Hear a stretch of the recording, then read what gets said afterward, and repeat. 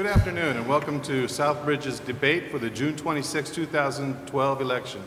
I'm Mike James, Chairman of the Southbridge Republican Town Committee, and this is Larry McDonald. So I'm Larry McDonald, Chairman of the Southbridge Democratic Town Committee, and on behalf of the men and women of both committees, we want to welcome you to the debate. Now, today's debate up first is the school committee, and the way we have formatted this, there will be several questions asked of the candidates. Each of the questions will come randomly, sealed, so that there's no advanced uh, awareness of what the question is going to be until the candidate is uh, read the question. Each one of the candidates were seated, choosing a lot, uh, picking a, a, number, and that's how the seating arrangement was uh, arrived at. The format for today is the first question will be asked uh, of the first candidate. They'll have two minutes to respond, and then each other candidate will have one minute to respond to that question, and it'll continue successively. So we're proud to bring you this event and hope you find it informative and a way to find out who the best candidate is for the two open seats of the five candidates. Thank you very much. Now, our moderator will be Peter Cooper Jr. He is a resident of Charlton, lifelong resident of Charlton, but we'll forgive him for that. Uh, he has a wife and two children, and he has a third on the way. Uh, it could be we get a phone call tonight, so hopefully that doesn't happen. Uh, he attended Shepherd Hills High School uh, for two years, and then he went to uh, Checker, or I'm sorry, to Mass Academy of Math and Science at w WPI. Uh, he went to WPI to get his bachelor's and master's, where he's in, com in computer science. He's been for 12 years senior engineer, programming engineer at Checkerboard in Boylston. He is currently the Ch town, uh, Charlton Town Moderator. He's been for three years. And uh, he participates in the Mass uh, Moderators Association. So uh, I'd like to introduce to you Peter Cooper Jr. Thank you. I'd like to welcome all of you. I'd like to thank the Southbridge Republican and Democratic Town Committees for hosting this event. I'd like to thank all of you who came out here or watching this at home on cable. On June 26th, the people of Southbridge will have the opportunity to select who they want as their leaders. In this case, for school committee, I'm delighted to have this opportunity to moderate this discussion to understand that our voters understand our candidates' positions. Um, the candidates have been seated in a random order, and each candidate will have two minutes to introduce themselves with an opening statement before we move on to the rounds of questions. Uh, the questions were written by the host Republican and Democratic town committees, and candidates have not been told in advance what they are. Uh, each question is going to have a primary responder, and then they'll get two minutes to respond to that question, and each other candidate will have one minute to give their own response. And for the next question, the next candidate will go until we've gone through the round of, of questions, and then we'll move on to the next round with another random person starting first. If a candidate references another candidate during their response, then the moderator may allow for a short rebuttal from the reference candidate. Um, at the end of our rounds of questions, we'll go through as many rounds as we have time for. Candidates will be given three minutes for closing statements. Um, so we'll start out with opening statements. We'll start out with the candidate in seat number two here, Ms. Pate. Also, I should mention that Mr. DiGregorio was not able to make it, but is a candidate. Ms. Pate, you have two minutes. Thank you. My name is Leanne Pate, and um, I'm a parent of a special needs child here in the community. And the reason I am running is my son. I'm tired of fighting with the district for services for my son that he's entitled to, as well as any of the other parents that have special needs children. I talk to them, they all have the same issues of fighting for services for their children. Um, the most part, I, I have no issue personally with any of the school committee members. I sit here and I listen to them.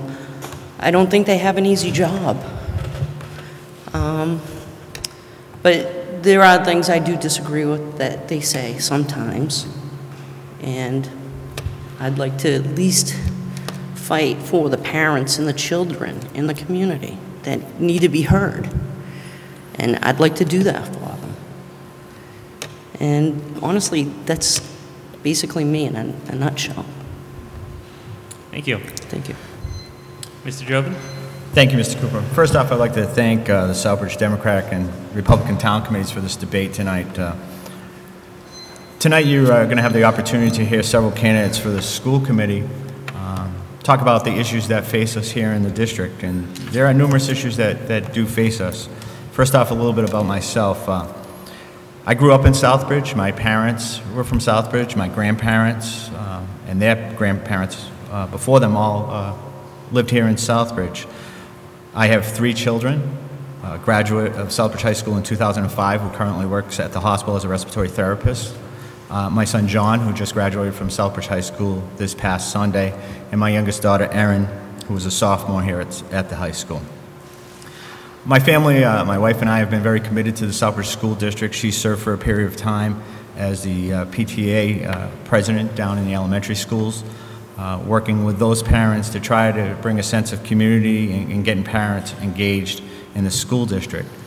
Approximately 11 years ago, I sought a seat on the town council um, to try to bring, uh, you know, a voice to that committee and, and ran an unsuccessful campaign, but it got my feet wet here in local politics. Uh, because I always, always believe that uh, you can't just stand on the sidelines and, and complain about what's going on. If you want solutions, you have to come to the table. I currently work as, a, as an investigator for Progressive Insurance, and I've had the tremendous honor of serving the town of Southbridge as a school committee member for the past 10 years and serving as the school committee chairman for the past seven. I think if you look at the school district and take a hard uh, look back at where we were seven years ago, uh, it's quite different district than it is now. We've had a lot of work that we've had to do, and I just want to bring uh, my experience to continue on the school committee as we change the district uh, in the coming months, because certainly in September the district will be a totally different school configuration than it is today. Thank you. Thank you, Mr. Joven. Ms. McLaughlin? Thank you.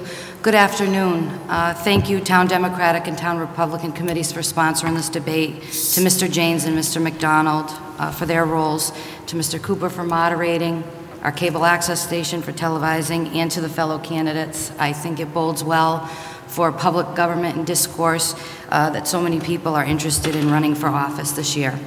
Um, My name is Lauren McLaughlin. I uh, have lived in Southbridge. I, I grew up in Southbridge, but relocated here in 2001 when my twin daughters were a year old. I have um, been actively involved in the school district since they entered Helping Hands Preschool in 2004. Um, I currently work two part-time jobs. One is the facilitator of the Southbridge Family Center, which is a grant-funded program from the Massachusetts Department of Early Education and Care, and I am the outreach coordinator for the Community Health Network of Southern Worcester County. I'm actively involved in the schools, uh, participating as uh, both past PTA vice president and president. I'm on school councils. Um, I'm personally invested in the schools. My daughters now are 12 years old. Um, I am running for school committee because I believe that the reputation of the town and its schools are linked, that everybody, though they may not have a child in the school district, has a horse in this race because everybody cares about the reputation of the town and its schools. And I believe fundamental to restoring, uh, to restoring that reputation is to restore the public's trust and confidence. Uh, it's essential, essential to the future of the schools, the success of the schools, the success of the children in the schools, and the community as a whole. I hope that during this forum, I'm able to address issues that are important to me, including our level four status, uh, district level turnover, uh, communication, and school choice. I appreciate the opportunity to be here today. Thank you. Thank you. Ms. Donovan? Good afternoon. Thank you very much. Um, I would also like to, of course, thank the Democratic Town Committee as well as the Republican Town Committee for providing us all with the opportunity to get our voices out there and start putting um, some, some faces to the, the signs and the names that you may hear out in the community. Um, I am also a resident of Southbridge, uh, born and raised in Southbridge. My dad was a Southbridge High School science teacher. Um, my grandfather, Coco, was a police officer for over 20 years in the, in the town. I uh, graduated in 1989 from Southbridge High School, third in my class, class president. I have a bachelor's degree in liberal studies as well as a master's degree in business administration. I have served the town as a principal assessor uh, back from 1997 to 2001. Uh, I was principal assessor for this town, and I am still currently an elected board member of the Board of Assessors. I am a mother of three children, all of which who are in the Southbridge school system. I am very actively involved in, in their educational career, and I'm running first and foremost because I care, and I want to ensure that not only the educational experience of my own three children, but for the children in all of the children in this community is the very best that it can be. I feel that it's time for new people with new ideas and new perspectives to arrive to the table to bring this um, district forward. And most importantly, I'm building my platform around the concept that we need to get back to our ABCs accountability, best practices, and communication. And until these three tenets become the main driving force behind the leadership of this district, I don't foresee us being able to move forward and regain the trust, the respect, and the confidence that I feel this district deserves. So, in a nutshell, I'm here because I care. I'm here for not only my own kids, I'm here for your kids, I'm here for our kids, and I'm in this fight to make things right. Thank you very much. Thank you. We'll now move on to the first round of questions. So I'm going to select a random one of these envelopes.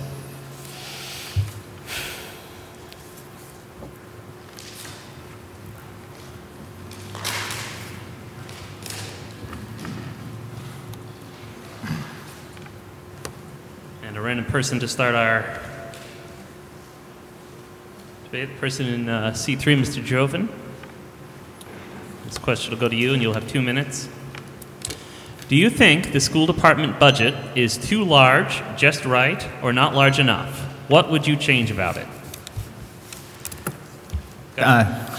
Thank you for that question. Um, School budgets, uh, the school budget is always a, a, a tough uh, position to be in because we need to balance all the needs of the district, um, not only in the classroom, but our special ed department, uh, arts, music. Um, Is, it- is it the right number?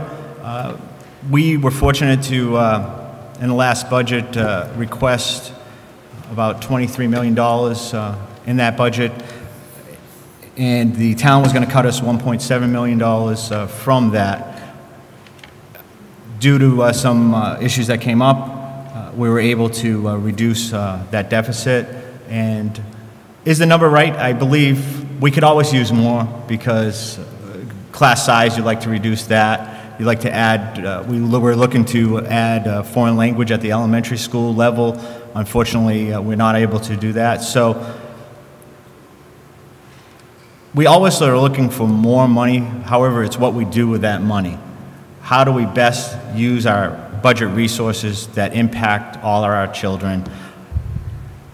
And we also have to realize that we have fiscal constraints. We're not an industry that can just go out and raise money or raise revenue. We, we are a very dependent town on state aid. And when your budget makes up so much of, of state aid monies, when the state cuts uh, as they do, it's a bigger impact to our district than it is to other districts. So while we could use more, um, I believe uh, our level is at a sustainable level to do most of the things that we want to do, but we could always use more. Thank you. Thank you. Now, each other candidate will have one minute to give a response of their own. Ms. McLaughlin? Uh, Thank you. Um, The school budget's interesting. We are challenged in that school budget because there are certain fixed costs. There are salaries, there's special education programs, and that comprises most of the school budget. Um, There's not a whole lot of wiggle room. Um, I remember Mr., I had a conversation with Mr. Ely recently relative to something else, and he was talking about Chapter 78, as Mr. Jovan alluded to, and was telling me that um, when state aid is, when state aid is cut, the school department takes a 69% hit. But when state aid comes in higher than expected, they don't get the reciprocal 70 is 69% that comes into the district. It's a challenge. We can always use more money. Who wouldn't like more money in their household budget? But the budget is what the budget is, and we have to find creative ways to get around that, including exploring grant opportunities that may be unexplored in the past. Thank you. Ms. Donovan? Thank you. Um, In my opinion, the budget is no secret or no surprise. Year after year, we set budgets, and, and I think we need to take a more proactive approach to, at the beginning of the school year, to know, we know what our fixed costs will be, try to get a better plan uh, in, in, intact or ahead of time than scrambling at the last minute. Um, we could always use more, but I think there's also a lot that we could do with what we have. Um, I think, again, we need to be very, very proactive. I know that Mr. Wiggins has installed a zero-based budgeting technique to the school budget, which I think is a phenomenal idea to prioritize what the needs for the district will be and how to, to fund those. Um, and, you know, in the corporate business, the best way to make money isn't to lose money. And in my opinion here, the best way for us to be utilize our budget the best way is to keep it, keep the money here for our kids, and I'm rel relating that to school choice. That's town money that should stay in the school budget for our kids. Again, our school budget's 61% of the total town, and I think it's very important that we do the best we can to keep our money here. Thank you. Thank you. Ms. Pate? Thank you. Um, With the budget, I would say there's never enough money for the kids and to teach them. So to think out of the box for areas we could use help, you know, such as cafeteria if there's short staff, or classrooms if they need paraprofessionals. Start up a volunteer program, get the community involved. You'll have resources at your disposal with community people that can help fill in the gaps where money we're spending or we got to cut, they can use to fill in those spots, those gaps. So honestly, I, I would like to say I would like to see more money to a budget for the schools, but what they have is what they have. Um, and we need to do other resources. Thank you. Thank you. And the next question will be initially responded to by Ms. McLaughlin. The elementary schools have been reconfigured into neighborhood schools again. In what ways do you think this development will be positive or negative for our system, and what new ideas do you have in that regard? Ms. McLaughlin? Thank you. Uh, In fairness, I was actually on the subcommittee with the recommendation to reconfigure these schools. I just have to say that by and large. So I was charged with investigating that, um, that possibility. Um, I don't know if that changes anything as far as the question goes, but I absolutely do support reconfiguring the schools to neighborhood schools. Um, Part of the reason I support that is because I had several friends who had family, who had children in each of the five schools. And as a parent, that's a very difficult system to navigate when you have um, one report card from one school that looks different from another school. You have one set of communication guidelines and enforcement policies that's different than another school. But going forward, I'm very excited about this opportunity. I think it's going to do a lot to engage families. I think it's going to lot, uh, do a lot to uh, build communities. It's going to be a little bit of a rough transition, I know, because change is always a little bit difficult. But um, it presents many opportunities for, I think, community partnerships with the schools, more intensive partnerships with, um, with parents, with community members, all of which is desperately needed to move this district forward and is actually part of our turnaround plan or had been a part of an initial turnaround plan of the district. So I think that that presents a lot of great opportunities for families in the district. Thank you. And now each other candidate will get one minute for a response of their own. Ms. Donovan? Um, For me, I am a huge advocate of the neighborhood schools. Uh, When I went through this school district, they were neighborhood schools, so I was very familiar with, you know, how they, how they worked. And now my own children are going through it with them being the schools that they currently are, but we are looking forward to them um, being reconfigured. For me, it wasn't a matter of if the school should be con- reconfigured, it was a matter of when. I think that the district has a lot on its plate, and there was no set plan coming forward of how this approach was actually going to be enacted. There's no plans for pickups and drop-offs. There's no plans for what the playgrounds will be. Letters still have not gone home to parents of what schools their children will be attending. I just think it's a wonderful idea, but I think that the district has not done a well enough job for informing parents um, of where their children are going to be and how this plan will ultimately affect their families, their home lives, and ultimately the, the day-to-day experience of their children who now have friends maybe in one school and hope to have been with those same friends, but now next year will be across town. So thank you for that. Thank you. Ms. Pate? I was all for the reconfiguration. I started with Lauren on that, and then I had other issues that came up that I had to leave that committee. Um, But I'm all for the reconfiguration. I think it was a great idea. Um, I, I don't see the issue of knowing where my son's going to school. I've been at the meeting, they've presented it, they have the, the map out, they've given us plenty of information on it. Um, I think it's great for children like my son who's special needs. They take a, a longer time to readjust to these schools and their settings. So this will give him that five years in that school to learn his way, feel secured with the teachers, to know they're there to help him. So I'm all for it. Okay, thank you. Uh, Before we go, get going, one, uh, I was just told that there's a cell phone somewhere which is interfering with the uh, microphone and the sound setup. Might be this one. Thank you. Um, Mr. Joven? Uh, Thank you. Uh, This uh, reconfiguration was something that we had talked about years ago when we were first looking at the concept of what do we do with the high school or the middle school. And and on the building committee and the building needs committee, we took a systemic look at the entire district. What were we going to do? What was our school system going to look um, seven, eight, ten years from now? So part of the plan all along was to take a look at is neighborhood schools a concept that we could work with? Is it a concept, a good concept, and how do we implement that? Uh, Mr. Ely put in the plan to have the uh, groups to study that, present that to the school committee, and it uh, was reported favorably, and the school committee took it, uh, approved that process to reconfigure and go grades one through five. The benefits of grades one through five, I think, are, are, are strong. As far as communication with the district, uh, we have put out the date, uh, the street listings, so that's been publicized. If you go to what street you live on, you should be able to tell what schools you're going into from grades one through five. Um, and the superintendent will have further plans on that. Thank you. Thank you.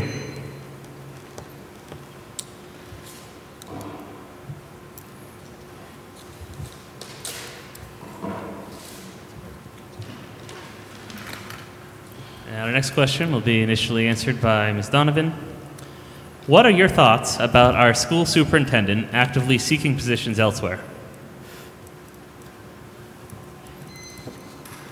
Go ahead. Well, I think everybody knows that the, um, the career of a superintendent is not to remain in one place uh, for a long period of time. How you define long period of time, um, I don't know how you do that. Um, I am deeply saddened to see the superintendent actively uh, looking for a new job at this point. Um, I did serve on that superintendent search committee back in 2010. Um, and if you follow that or if you had a personal role in it, uh, things got a little bumpy along the way, shall we say, and I think the process in many ways became flawed. And whether that has anything to do with why our current superintendent is looking for um, a new place to go, I don't know. I think it's crucial that no matter who our superintendent is, that they be a strong leader, that they guide this district in the right direction, that they take the five-year turnaround plan that we are coming off of and move us in the direction that we need to be. We're still a level four underperforming district, and it is the ultimate role of that superintendent to get us out of that situation. Um, Again, I, I'm deeply saddened that he is pursuing other avenues. I hope that we can convince him to make him stay. Ultimately, it's the kids that are affected by all this. And from the get-go, I think, you know, we need to take the politics out of everything that we're doing and focus on education.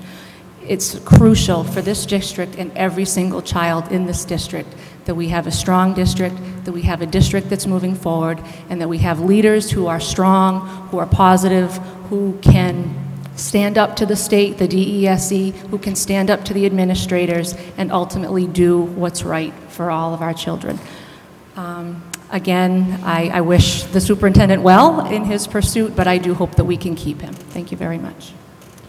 Thank you. Ms. Pate?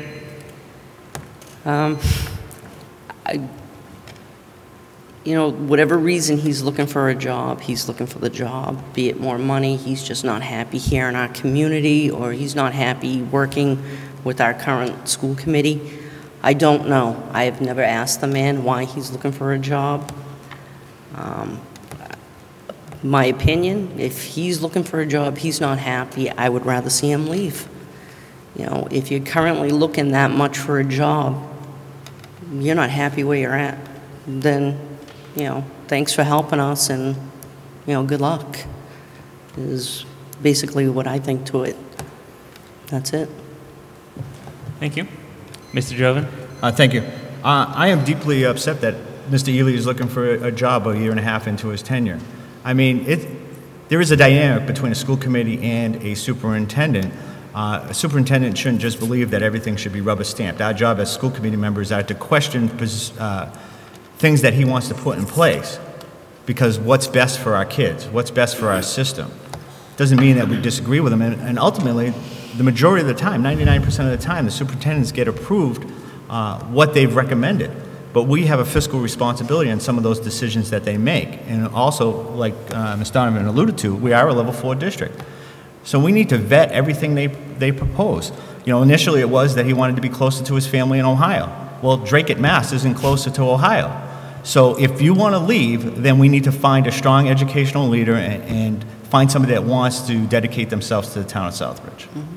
Uh, he's done a great job on some of the things that he's done, but if he doesn't want to be here, then let's find somebody that wants to lead this district. Thank you. And Ms. McLaughlin? In my research uh, to prepare for this forum, I came across the May 2010 report, the Level 4 uh, report to the district. And one of the key topics, the hot topics in that report was the stability of the superintendent. There was a lot of trepidation because Dr. Hanley was going to be leaving and we needed to find a new person, a strong leader to fill that role. Um,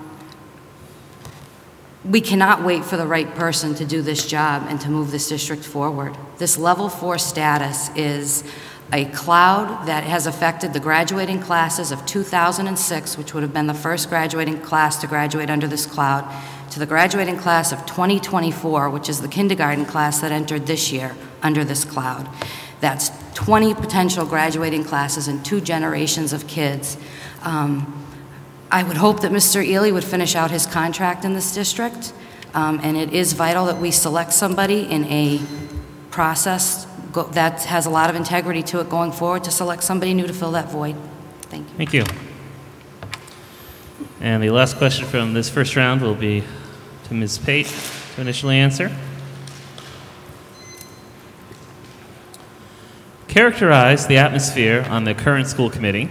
How would your presence on or re-election to the committee affect it? And how would you hope to influence that atmosphere? Characterize the atmosphere of the current committee? Yep. Uh, When I sit in the audience, I do see some members kind of make faces when other members are speaking, and the faces are faces of like, oh my God, I can't believe they said this. Um, I, I think they just need to work together, whatever reason they disagree personally, professionally, they need to work together and, and find the middle ground. Honestly, I would be open to listen to anyone's opinions on matters and, and argue the points with them the way I see it, and they can argue the way they see it. I would find that middle ground to work with them on the points. I think out of the box a lot, and um, you know, I I think these guys sometimes get a, an unfair shake, you know, and they just need to truly work 100% together for the kids. And sometimes I think some egos get in the way of that. And, and they try to put down another member's thoughts or ideas or suggestions, and it- should stop. Got to find that middle ground. And that's it. Thank you. Mr. Joven? Thank you. Uh, Being on the school committee for 10 years, I've certainly seen my share of differences of opinion and egos. As chairman for the past seven years, I've had to balance a lot of those egos um, and opinions. And it's not easy being a chairman of, uh, of this group that I have up there with me. But with that being said, I want to say that you won't find a, a harder working group of individuals that truly care about the Southbridge school system and, and our children. These are all about our kids. We care about every individual child in this system. While we may have differences of opinion, we do know, uh, we have thoughts of where we want to go and how we're going to get there. And, and if you take a look at the votes along the way in the last seven years, I think that you'll see that we're more on, uh, on the same page as to the votes.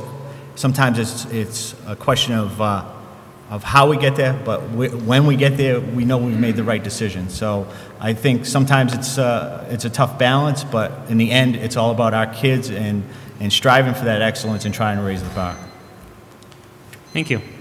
Ms. McLaughlin. Uh, Thank you. Um, Sometimes I think it's tough to see the forest through the trees. Sitting in that audience of- as I have for the last um, several months um, on a regular basis, um, it does appear that there is a lack of focus on this committee, that there are distractions um, that are taking away from the primary goal of this committee. I would like to see um, professionalism restored in the way people conduct themselves, the way they dress, the way they act, the way they address members of the audience. Uh, I happened to notice um, a few weeks ago, Erin Clark was here from the PTA talking about a school nurse issue at the high school. Not one school committee member for an extended period of time was looking at her. And I, that said something to me. Um, and um, I think we do need to, to uh, create an atmosphere where people are welcome to come and avoid what's going on on the dais. I'd like to see the district mission statement read before every meeting. Sorry, ran out of time. Thank you. Ms. Donovan. Um, I firmly agree that there is not a person on this committee who does not have the best interests of the kids at hand. They are self, unselfishly donating their time and their energy to, to move the district forward. But as far as the atmosphere that is being exuded from the school committee, I have to also um, agree that there just appears to be a lack of professionalism. I think that as elected officials, we need to be held to a higher standard. We need to be held accountable. If we offend somebody, we need to apologize that we offend somebody. We need to treat people with respect. We want people to get involved, but if we elude or exude a bully culture where we'll let you speak, but then we're going to knock you down, I mean, there has to be respect and accountability on both sides, both from the public as well as from the school committee members themselves. Um, but we need, all need to be accountable for what we're doing, and we need to make it easier so that we can do a better job. Thank you. Thank you. So I'll now select the candidate who will be going first for the next round of questions. It will be Ms. McLaughlin. And her first question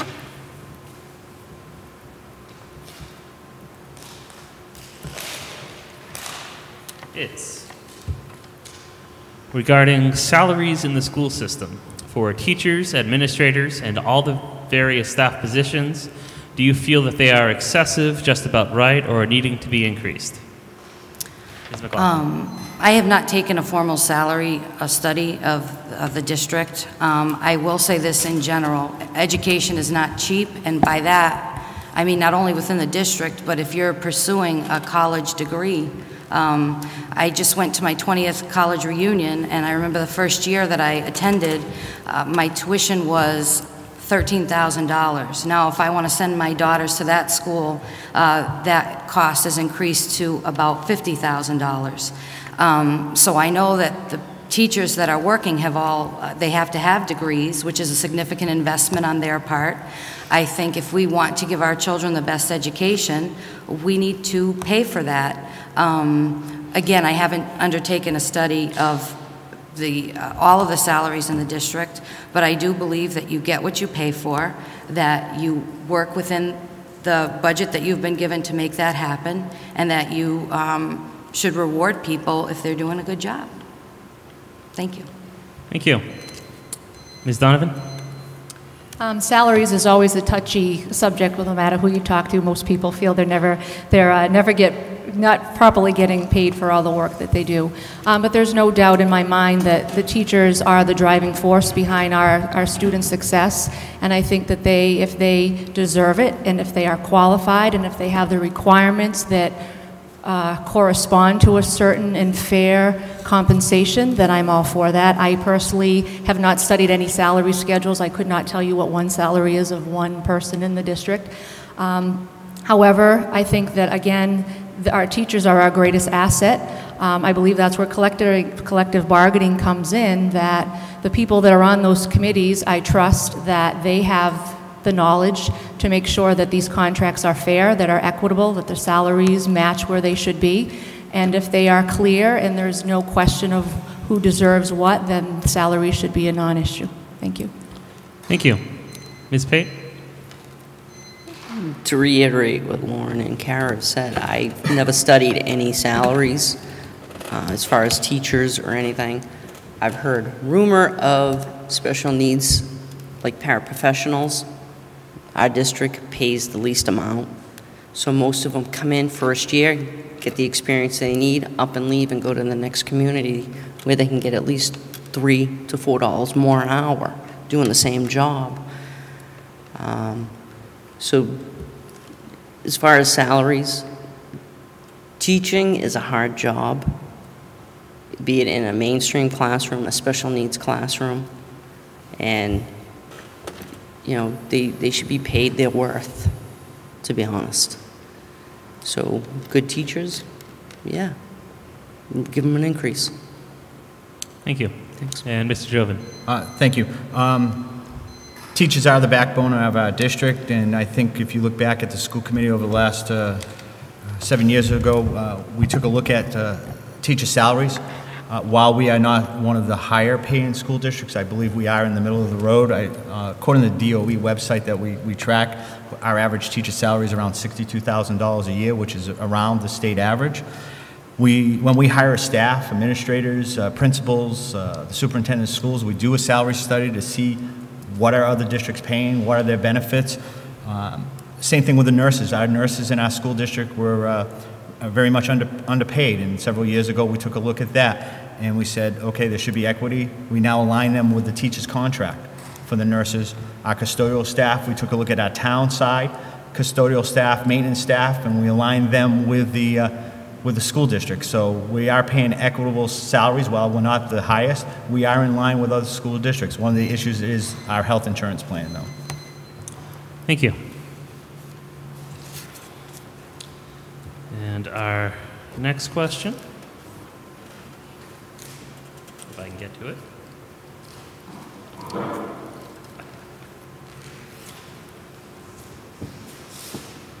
There we go. For Ms. Donovan. How do you think our schools are being managed? And please give the voters a specific example. Ms. Donovan?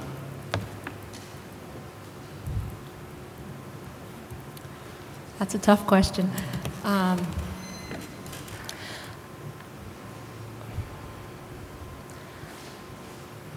I guess the bottom line to answer that question is if our schools were being properly managed, we would not be a level four underperforming district.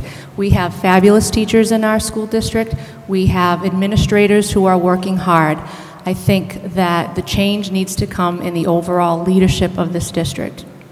Until accountability, best practices, and communication are better instituted in every every aspect, every opportunity, every single thing that this district works to do, until those three principles are the principles that are guiding the district or the leadership of this district, I don't foresee us moving forward.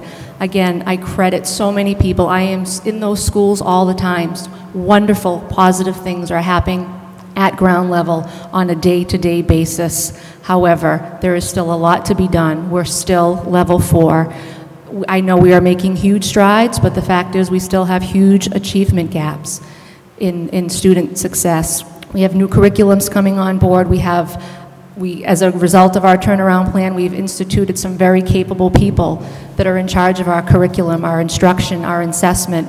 We have the eh, t- good tools in place. It's how we're managing those tools, how those people are being used, how assessments are being done, how um, achievement is being regulated or monitored.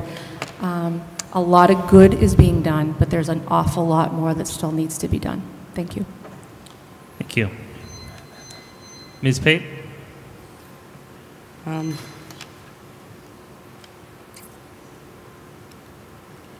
I honestly don't know how to answer this one. So, um, I, I just know from sitting in a couple of meetings, I've, I've heard, like, the, the district started up some tests. I heard that the principal at the high school didn't want to do it, so they didn't do it. The principal at the junior high didn't want to do it, so they didn't do it. So I don't know if I'm correct in saying you have to pay money for these tests, and then you get the principal saying, eh, we're not doing it. Who runs the show? Does the superintendent run it, or do the principals? If the school district's saying, we want you to do these tests, I want to see the principal saying, okay, we'll do these tests. Um, I, I just want to see those who are in charge being in charge and not their subordinates taking control. Yeah. Mr. Joven? Thank you, Mr. Cooper. Uh, Schools managed properly, I mean, that, that's a question that would take a lot longer than one minute to answer. I mean, I keep hearing level four school district, and, and yes, we are a level four school district, but the definition of a level four school district, underperformance school district, is supposed to be that you are assessed at the highest level that your schools are. We have no schools that are a level four school.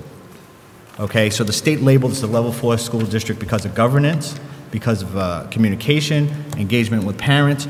Those are all things, if you took a look at that initial level four underperforming school district assessment, that we have worked hard as a school committee to overcome. We hire a superintendent of schools that we have to hold accountable.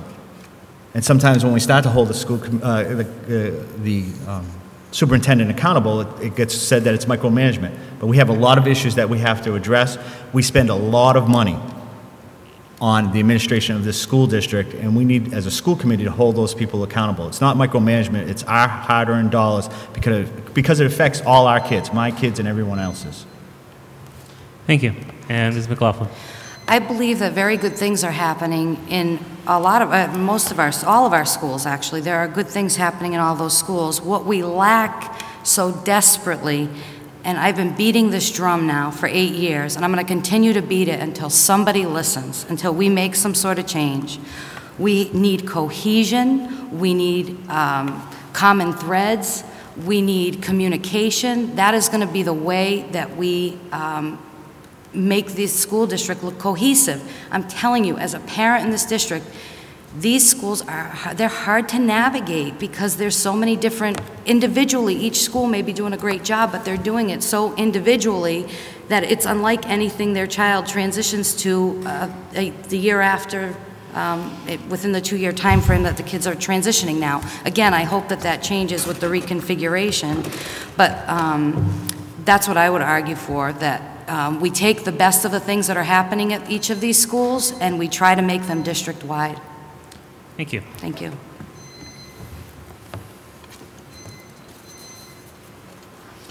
And our next question will be started by Ms. Pate. We are ready to open our new middle and high school. In what ways do you think this development can be used to move our school system forward, and what new ideas do you have in that regard? Can you repeat that for me? Sure. We are ready to open our new middle and high school.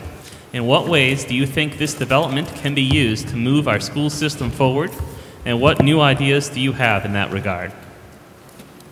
Um, From what I hear, the old high school, the old junior high are in disrepair. So kids are excited about the new school being done. Um, Honestly, I don't think a new school will educate our kids. It's the people within those walls that are going to educate our children. Um, And to be perfectly honest, I can't fathom that thought of that new school being built. I would have rather have seen the old schools repaired and kept in good repair. Um, That's my personal feeling. I don't know if that's a community, but that's my feeling. I just hate seeing money spent like that if we have decent buildings that could have been kept in good repair. Um, So moving the school district for it, I don't know. The- The teachers within those walls are going to move these kids forward in the school district for it. Um, If they're up for that task, um, I hope they do it very well and, and give our kids what they need inside those walls. Um, I don't think it's going to change kids from leaving the district. If they want to go to a different school, they're going to go. Um, And mostly, that's the parent's choice to send those kids out. That new school's not going to change that choice, I don't think. Mm, That's it. Thank you. And Mr. Joven? Thank you. Uh, It is an exciting time for the Southbridge School District with the new middle school, high school. However, that's not the end of the journey.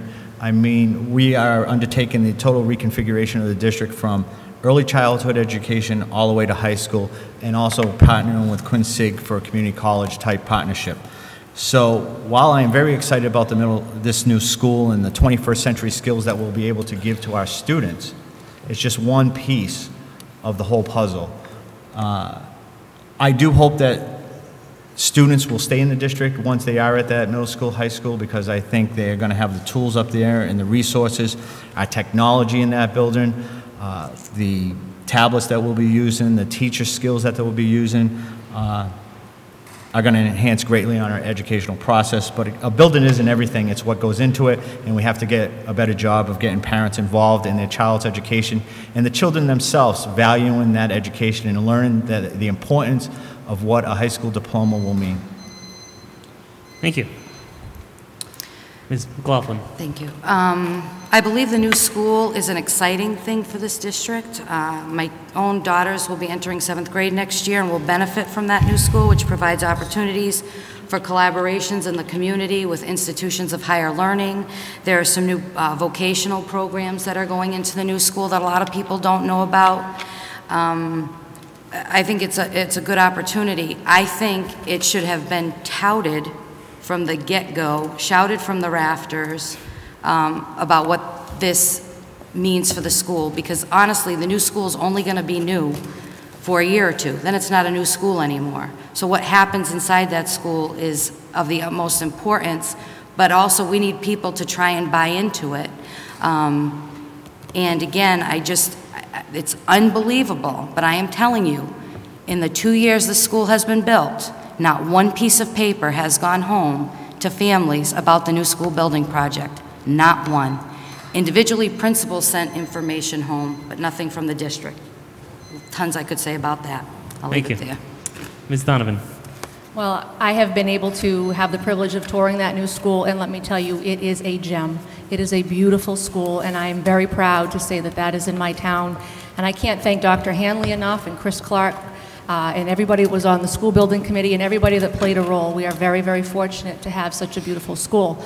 But my opinion is that unless sustainability and education excellence is the prevailing wind up on that hill, that school will not mean anything to us. Again, like everybody is saying, it is a beautiful facility, but unless what go, it's what goes on inside that building, which that will be paramount to the success of this school district.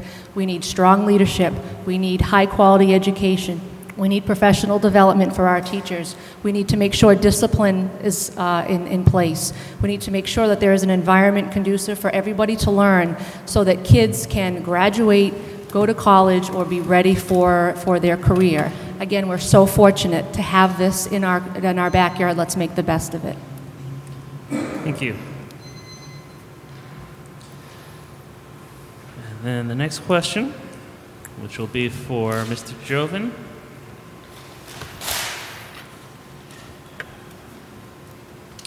What are your hopes, plans, or ideas for the reuse of the Southbridge High and Mary Wells facilities? Mr. Joven? Thank you.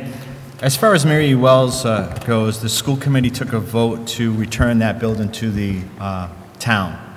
So that, that building has already been uh, voted to go back uh, to the town side, and it will be up to the town council and town manager to de- uh, develop plans for the reuse of that building. As to the existing high school, I- I've heard a lot of talk throughout town that said, well, you built a brand-new high school, but now you're planning on putting programs into the existing building. If it was good enough, or not good enough for a high school, why are you reusing, you reusing it for other programs?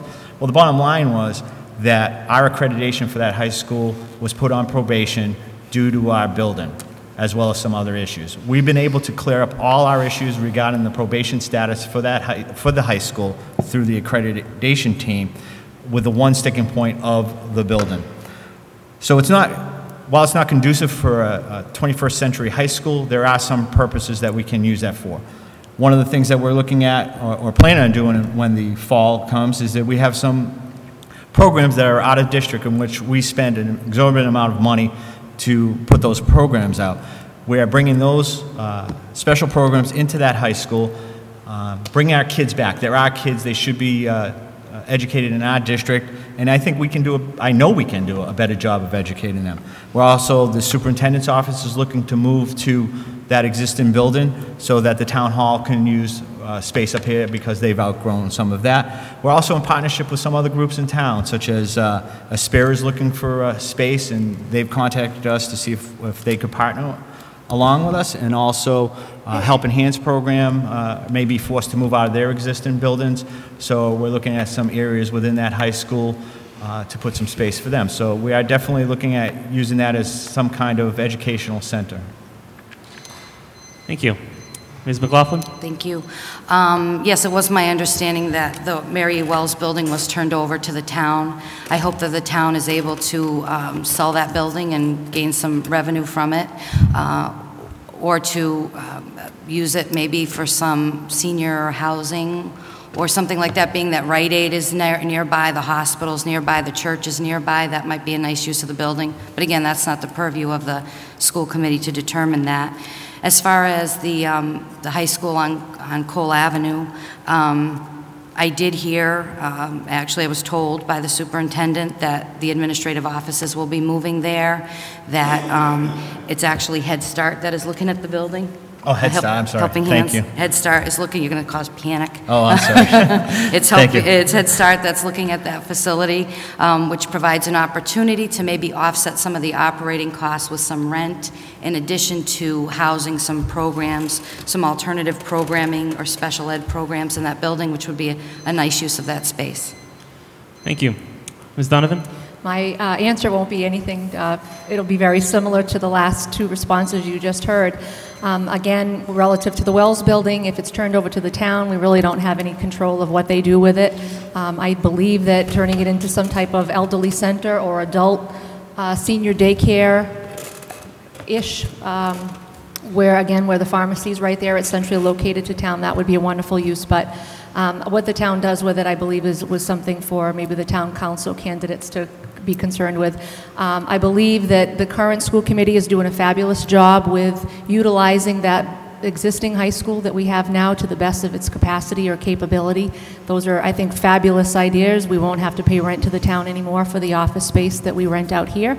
Um, I do believe that that school does have a lot of great potential. Like Mr. Jovan said, it didn't meet the standards for having a new, uh, you know, a, a full-blown high school there, but there still is a lot of great potential there. And I think that all the ideas that have been put forward to utilize that space are very well thought out. Thank you. Thank you. And Ms. Pate? A while back, I had sent Jack an email about the old high school, asking what their, excuse me, you know, what their plans were on it, and I had suggested, could we look into maybe creating a special needs school up there where the town can possibly generate money? There's no special needs school for like autistic children within an hour and a half ride of this community. I know some neighboring towns do not have special needs programs that they outsource their children to other districts. So, to me, that would be an opportunity, make money for our community, bringing these kids in. Um, But research would have to be done on it. So that would, I would like to see that school turned into a special needs school to generate money for us. Thank you. And we have time for one last round of four questions here. We'll start with Ms. Donovan.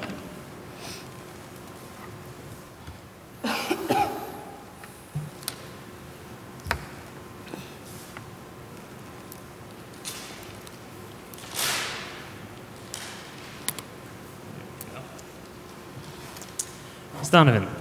Southbridge has a school system in transition. If you win or retain a seat on the committee, what do you hope to do to positively affect those changes?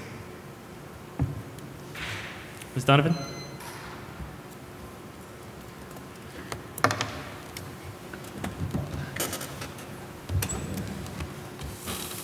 I'm a very positive person and I want things to be done right, and I want what's best for every single child in this district. So if I were to obtain a seat on this school committee, I would stand up and fight for what I believe is right and what is just and what is in the best interest for every single child in this school district. We have so much potential to improve what's going on in our classrooms, to make our students be even higher achievers that we already are, to wipe out that stigma that comes across us because we are we come from Southbridge or that because our our um, district is in a level four performance status. We need to work. I will work very hard to communicate that the perception that people have out in the community about our schools is not in fact the reality. There are fabulous things taking place within the walls of those schools. It's just not getting out there. We need to do a much better job of aggressively communicating and relating to the public that these schools are fabulous places for our children to be in. And I will fight that to the end to make sure that the perception of our schools can catch up with the reality of our schools. There's a lot for the people to learn that we have great families, great teachers, both inside and outside of the classroom that care, that want to be there. We're a melting pot community. We come from all different walks of life, all different levels of, of wealth and status. But the thing is, you know, we're there. We're all one. We're, we're together. And there's no reason why we can't move forward all together. So I will remain as positive as I possibly can. I will fight for what's right. I will stand up for what's right. And I will hope to make, do everything I can to make a difference, not only in the education of a ch- life in the child, or not only education um, in the children of this district, but in the life of the children in this district. Thank you. Thank you.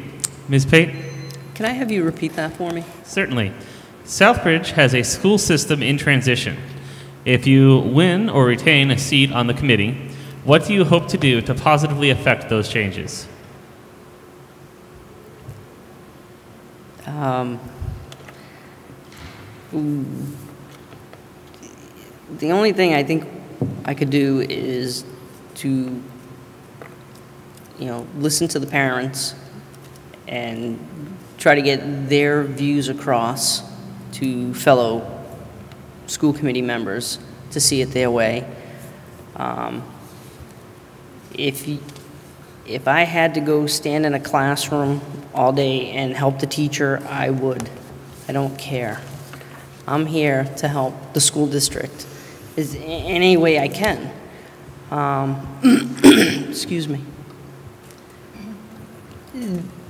The transitions, they happen daily, and y- you just have to roll with it, and that's basically what I would do, is roll with them. Thank you.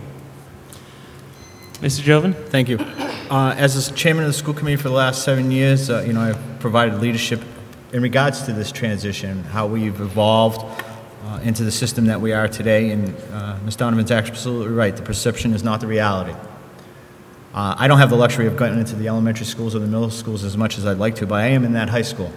And the perception of that high school is that it's a zoo and that there's no lear- learning going on and that our kids are not engaged. And I have to say that is, that is wrong. Um, if you took a look at this year's graduation and the uh, program for that, the schools that our kids have been accepted to, um, i- is exemplary. Uh, I would provide the same leadership uh, through this transition as we evolve into a um, educational model and hopefully a model for the state as we move forward in our turnaround plan. Thank you. Ms. McLaughlin?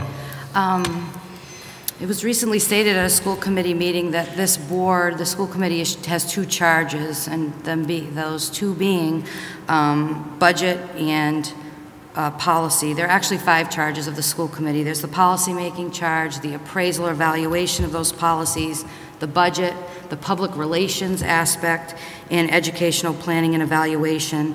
Um, I would work my darndest to make sure I had a grip on all of those. I would uh, establish immediately a communication subcommittee, a special subcommittee geared towards communication.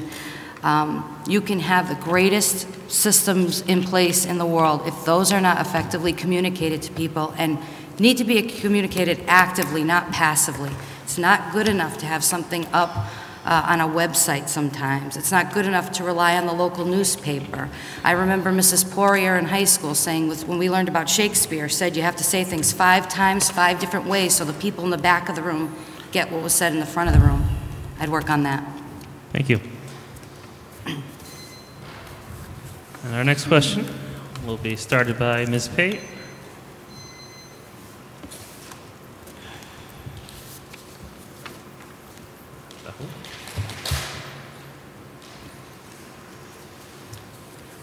Rate the overall quality of education in Southbridge and then comment upon it. Grade the overall quality. Overall quality of education in Southbridge. I can grade it either way. I just had my niece graduate from the high school along with Mr. Jovan's son, and she graduated honors. So can I say it's awesome? Sure. I see my niece graduating honors, got accepted to a good college. I see my son, who's not getting anywhere in the school district because special needs doesn't want to put out the services for him. So you can grade it either way. It's all in the eyes of the beholder. So special needs, I give them an F. Other kids, I'd give them a passing grade. Kids want to learn what they want to learn. You could have the best teacher stand in that classroom, and there's going to be a kid that's going to fail because he doesn't want to be there. So I would give them passing grade on mainstream. As special ed, no, they fail. 100% in my eyes. Thank you. Mr. Joven? I think we do, I, I know we do a very good job about the quality of our education in our school system. We have high-quality teachers. Um,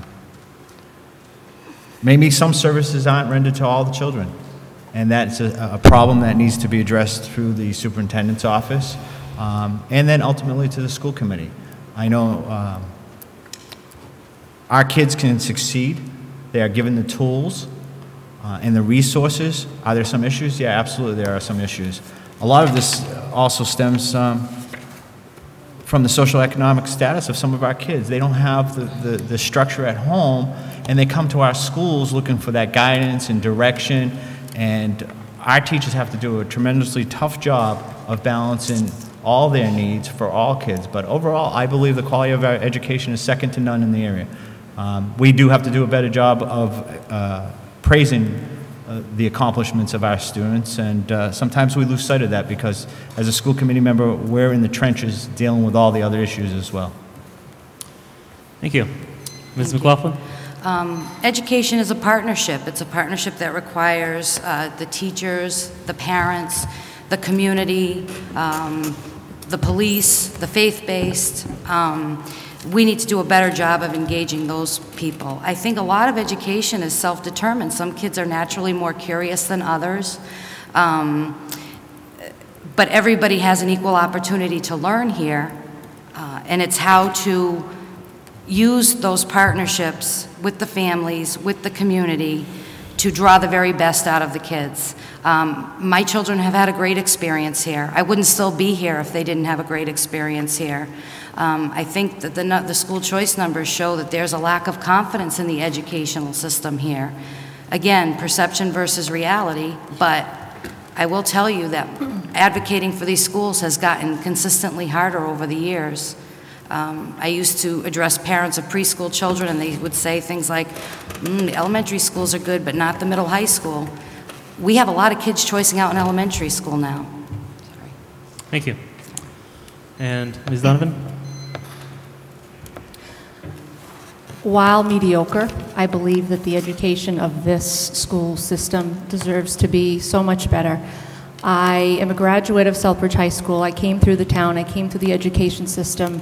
Um, I don't know why it has to be so hard now to try to convince people why we have to stay. Um, when I say mediocre, I, I, I don't want to discount all the tremendous work that is going on in the classroom, the huge strides that we've made. But the fact is, you know, we still have huge achievement gaps that need to be filled. We still have a graduation rate that is a lot higher or a lot lower than the state average. We have a dropout rate that's a lot higher than the state average.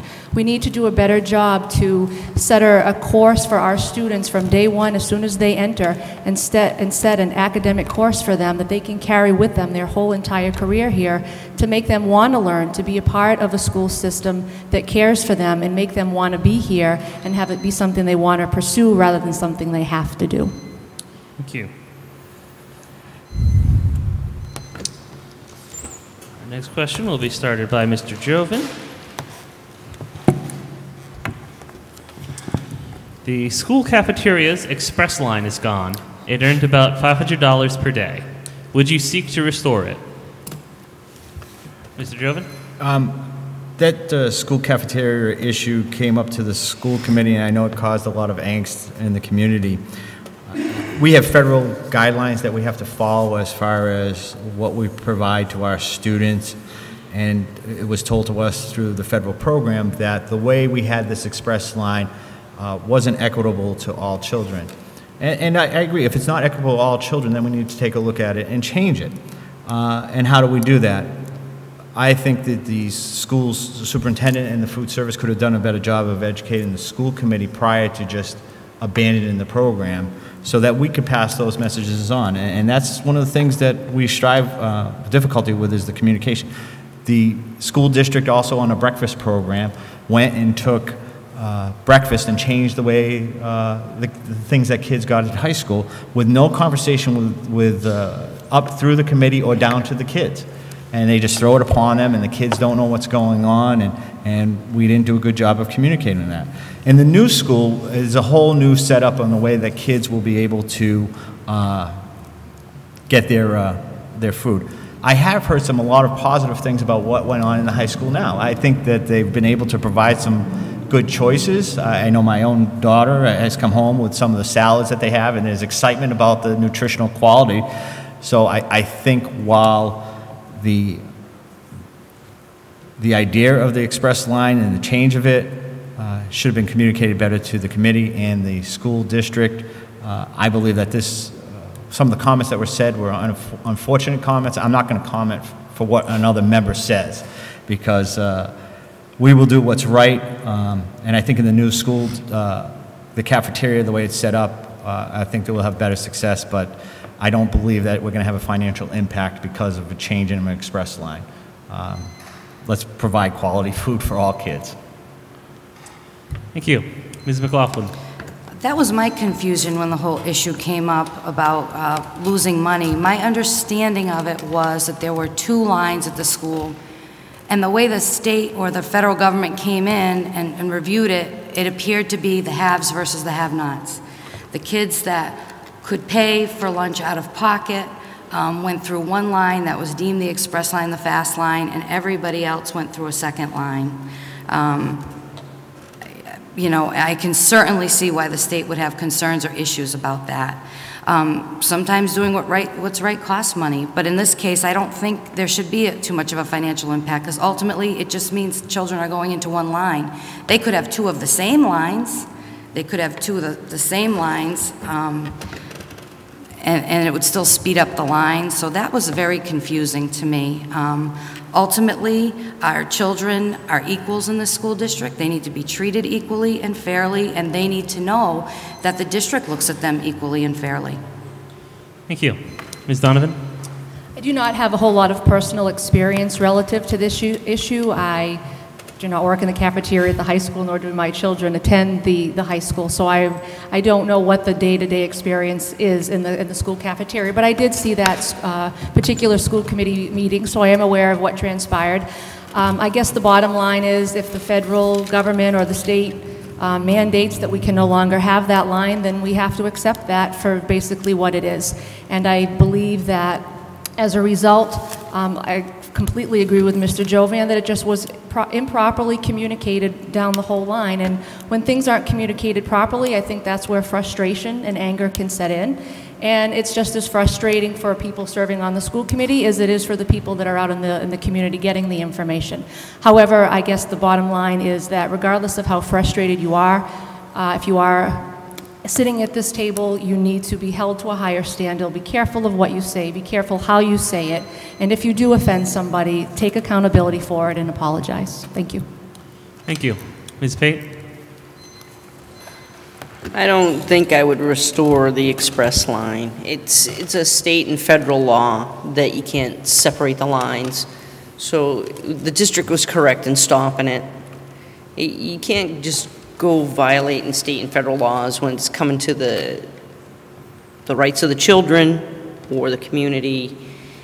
And if it can affect their funding or they're being penalized, then no, just eliminate it and, you know, just move on to the next real issue of, you know, getting the school running. I mean, express lunch, come on. Bring your lunch from home. Thank you. And our final question this evening will be started by Ms. McLaughlin.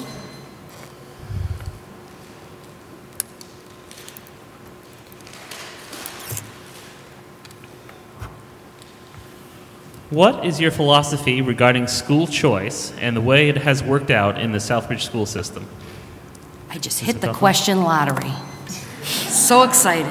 I have so much to say about school choice. Well, you have two minutes. Okay, I'll fit it in. Um, This town, in the last seven years, has spent a staggering amount on school choice, $5,483,595. And I say in the last seven years, that's the number of years my children have been in the school district. The majority of that money, however, has been paid out in the last five years. Um, The year my children entered kindergarten, that figure was $168,000. This year, uh, according to the DESE, that figure is $1,049,903. I don't like school choice. I think it pits one district against another, but the other districts are winning. And how they're winning is that we are not communicating to parents. We are not letting them know what this community has to offer, what the schools have to offer. That $1 million is a direct, no-confidence vote in the district that I don't believe that you can educate my child the way that other districts can educate my child. Um, This is money that all along the line could have reserved- uh, restored staff, programming um, in the schools. I have not seen in my time that I've been involved with the schools any concerted effort to reverse this trend, any concerted effort to uh, find the underlying causes of it. Although, again, what- people may leave for individual reasons, but the connecting thread is that basically it's a no-confidence vote. For the voters of Southbridge, who are, who are expressing moral outrage over $250 trash fines, that $5 million figure is the equivalent of 21,934 trash fines. We should be outraged. This is a major problem. That money belongs in this district, it belongs to this town, it belongs to the kids, it belongs to the schools. And it has gone up in Thank you. seven years. Thank you. Ms. Donovan? I am definitely not a uh, advocate for school choice for m- very many of the similar reasons that Mrs. uh, McLaughlin has, has stated. The bottom line is we're losing money, and a- a- again, people have lost confidence, they've lost trust, they've lost respect for the school district, and a lot of that is based on perception, like I said before, we need to change that perception. But how long is it going to continue?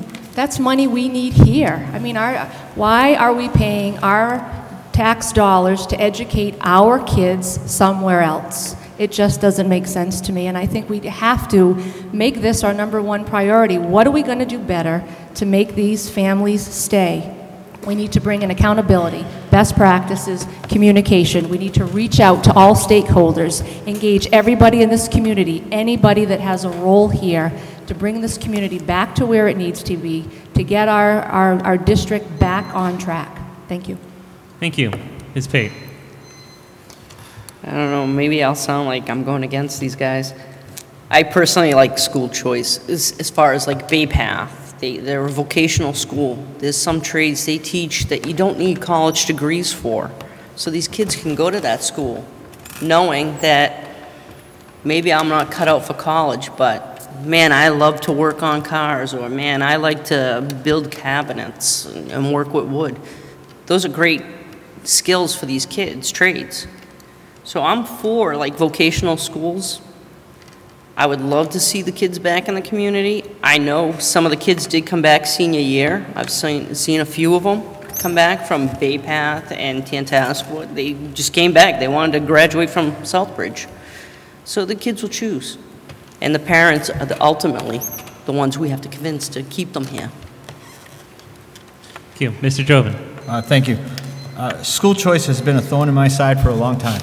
I've been talking about school choice for four, five, six years, about what we're going to do about it, how we're going to identify kids that have been left the district. I had conversations with two superintendents to say, hey, we need to address this problem. And unfortunately, it always seems to get to the back burner, but you're right, it is a lot of money.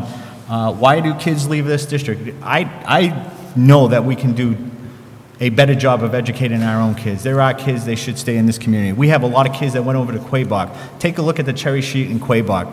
Quaboag spent in the last year $583,000 of incoming money and lost $487,000. So our kids are making up for kids that left their own district. Um, we need to identify those kids, and a building isn't going to change it. I don't think we're going to get kids to come back by building a new building, but I do believe that we will stem the tide once we get kids into that middle school and see the programs that we do have, offer at that high school. There are great things going on at that, high school, and kids can- can succeed, and the, you're absolutely right, the uh, perception is not the reality of what goes on in that high school and in this district. Thank you. We'll now move on to closing statements. Each candidate will have three minutes to give their closing remarks, and we'll be starting with Ms. Pate. Ms. Pate? I'd like to thank you for inviting me to come here today. And um, honestly, it, we need to change the the appearance of the district with the parents. Ultimately, it's the parents who are choosing if they want to stay in our community, if they want to send our kids to our districts. We need to reach out to the parents and say, what are we doing wrong?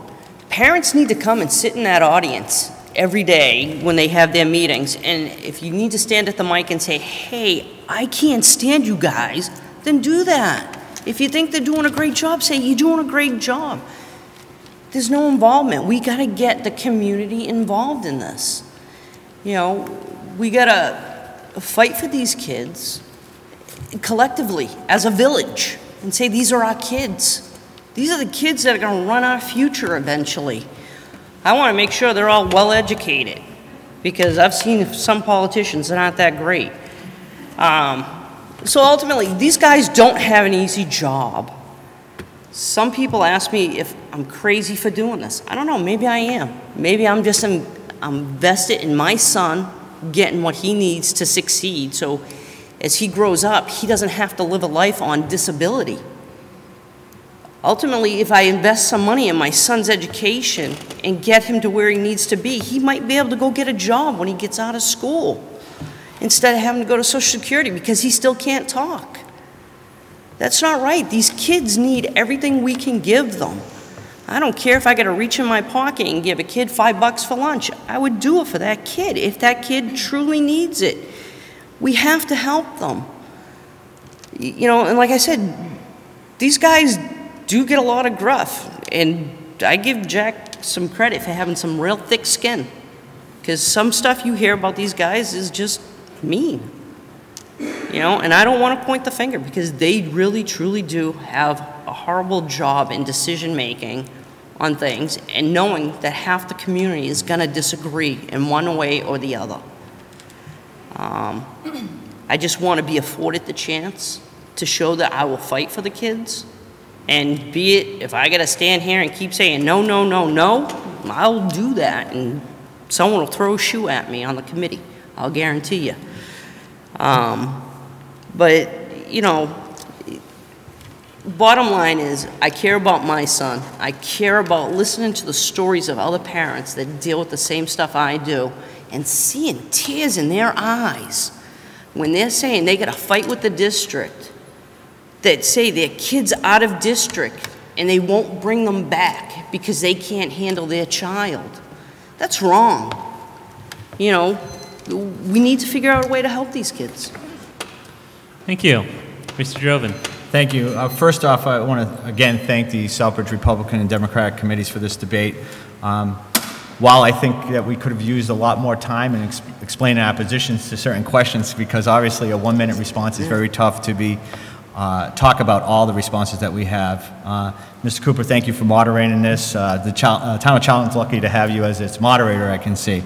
But the bottom line is this, you're going to have face a choice when you go to the polls in a couple weeks uh, to choose two candidates out of five. Um, All these candidates are equally qualified to represent you, uh, the voters of Southbridge, um, and do a great job. I think we all have the same goal in mind, and that is to provide quality education for all our children. Our kids all go here. We, we grew up in Southbridge. I mean, we are all graduates of Southbridge High School.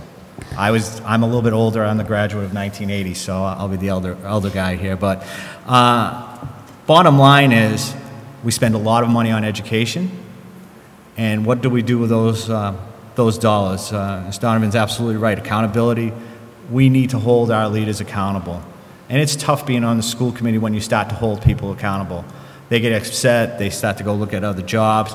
But that's our job as elected leaders. We have a 20 million plus dollar budget, not including grants and entitlements, that we oversee. And how do we spend those dollars? School choice, big nut to crack. I know that I've advocated for this Southbridge school system and gone out in other communities and, and praised Southbridge, but like Ms. McLaughlin said, it, it's tough. It's tough to go out there and hear as a Southbridge High graduate, hear people talk about why would you go to Southbridge High School, why would you go to Southbridge Public Schools, and teachers to be told why do you teach in Southbridge. But we have great teachers. If you take a look at where we were seven years ago with the tremendous turn, turnover of teachers, I mean, there wasn't a meeting that went by that we didn't have four or five teachers that were resigning at a clip all the time. If you take a look at the stability that we have in our district on the teaching staff levels, the teaching staff uh, has been stable. We have a great high school staff, elementary staff, and we have some very good principals. I wouldn't want to be a principal or a superintendent in a school. I wouldn't want to wish that on anybody because the accountability that goes with the state, the reports, the mandates, and the pressure on teachers and staff to push kids and, and make AYP and MCAS and Common Core standards, and we're changing standards every day. It's a, it's a tough job. This has been a challenge for 10 years being on the school committee and an equally bigger challenge to be the chairman of this committee. I'm proud of all the work that we've done as a school committee. Is there more that needs to be done? Absolutely. Um, and I, I'm just asking you, the voters of Southbridge, to bring me back for another term as we continue the transition to improve and strive for excellence and putting kids first because that's what it's all about is putting our children first they are the future and education with education you can change the world thank you Thank you. Ms. McLaughlin. Thank you. Once again, I'd like to thank everybody involved for this opportunity to be here and speak. Uh, Boy, does this time go by fast, much faster than I anticipated. I have notes, I have cards, I wasn't able to talk about things. Um, But I want to let everybody know that I actually do have a website, and on that website, um, I have some uh, position statements, if you will. Uh, The website is www.voteforlauren.com, the number four, lauren.com. I would encourage people to visit that site and to submit questions to me directly. If they have questions, I'm happy to answer them. Um, I believe, as I've said before, that the reputation of this town and our schools is linked. One will not be improved without the other. There's a symbiosis here. I also believe that what we're fighting against is a district that's hermetically sealed that it is very hard to, to get in and make a difference from the outside. I'm looking to make a difference from the inside, maybe poke a few holes. Um, sure, some bugs might come in, but you got to get to the fresh air, right? Um, the new school is an exciting opportunity, but I think we've all known people that have built beautiful houses and had lousy marriages. It's what's happening inside that school that's going to matter. It's maximi- maximizing the taxpayer's investment by providing a good quality education in that schools that's going to matter. Um, just as a point of information, uh, just for the voters, um, the Bay Path students, their money does not come out of school choice. No. It's a separate line item. I just wanted to let you know that. Um, so school choice is actually families that I've just decided enough is enough, I'm out of here. And unfortunately, once that school choice takes hold, if I'm school choicing my child out and I'm having a pretty good experience in another district, I'm going to tell my friends, and they're going to tell their friends, and so on and so on, like the shampoo commercial. So we have to combat that by um, letting people know why they should stay in district. And it, it, it, there's, there's so much, there's so much to talk about here. The new school, great, great, great. Children were not involved in that process in the least. They were not invited to the groundbreaking of that school. Um, they have not been involved in anything. I think it's hard to make those kind of decisions and try to make an impact when you don't have a buy-in from the people, the very people that you're trying to impact change for. And until we can master that, that lesson is going to keep throwing itself in our faces because life will give you the same lesson over and over again until you learn from it. That's the challenge here. That's something I think I can make a difference in. I hope the voters of Southbridge give me an opportunity. Um, I think new voices are needed on the committee. Sometimes if you, there's a hole in the rug and you've been walking by the hole in the rug for four years, you don't see it. Sometimes it takes a new person to walk by and say, hey, you got a hole in the rug. We got to fix that and I appreciate everything. Lastly, I just want to say my daughter Katie's in a soccer tournament today. I'm missing it to be here with all of you. I wish you luck, Katie, and all the teams that are playing. Um, thank you very much. Thank you. Ms. Donovan. Thank you very much. Um, I'd first like to also uh, give my thanks to both the Democratic and the Republican town committees for allowing this forum to take place. Um, to Mr. Cooper, taking time out of your busy family schedule to be here for all of us today. Um, this has just been quite a humbling experience for me. This is my first time out of, uh, out of the gate, so to speak. Um, but I've learned so much, and I, I feel better and better every time I speak to somebody or I get a call supporting me. Um, I think that all the reasons why I'm running for this campaign are for all the right reasons, and with each growing day, I'm more confident in my, my, my choice for running. Um, I'm a qualified candidate, I'm a competent candidate. I have no hidden agenda. I'm simply coming because I care. I'm here for my own kids, but I'm here for every other child in this district as well. I want to see our school district move in the right direction. Change is in the air. There's a lot of things that are happening around us. And change can be a very good thing. It can be very, very difficult, but it also can be a very positive, wonderful thing. And I want to be part of that wonderful thing. I want to offer solutions, practical solutions, be a new, a new set of eyes to uh, what's taking place and bring, a, bring new perspective to what has been taking uh, place. Bring a new way of doing things. Um, sometimes I think when you've done something for so long, you can't see the forest through the trees. So you need that new perspective to bring things out that may not be brought to the forefront. Um, the other thing is, I, I just want people to know that I'm not here just because.